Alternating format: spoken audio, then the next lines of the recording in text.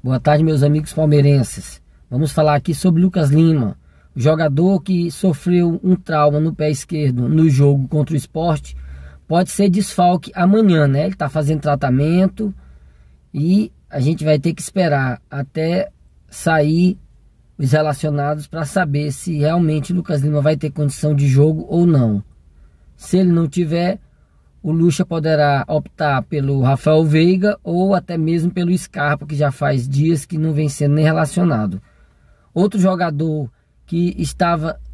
É, na, a gente estava na dúvida se poderia jogar ou não seria o Luiz Adriano, mas o jogador já treinou, né? Já treinou regularmente e está liberado para o jogo. Isso é uma grande notícia, né? Que é o nosso centroavante aí, que vem fazendo grandes jogos com a nossa camisa.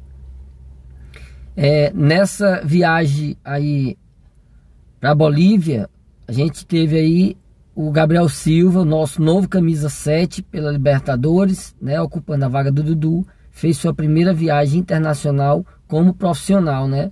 Jogador que promete muito, que foi artilheiro em todos as, é, os jogos que fez na base, né? Então é uma grande esperança para a gente e a gente torce muito para que, se possível, se ele entrar, ele consiga, né?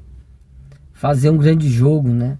Mas só ele já está aí com o time já é um, um grande avanço na sua carreira, assim como outros garotos também que foram relacionados nessa lista para a Libertadores. Tem também alguns assuntos como é, o prato que foi cogitado e vir para o Palmeiras, a gente sabe que isso aí é só balela, entendeu? Isso aí não procede, a diretoria do Palmeiras não confirma, assim como também o atacante Borré do River Plate que foi cogitado no Palmeiras também não procede essa informação.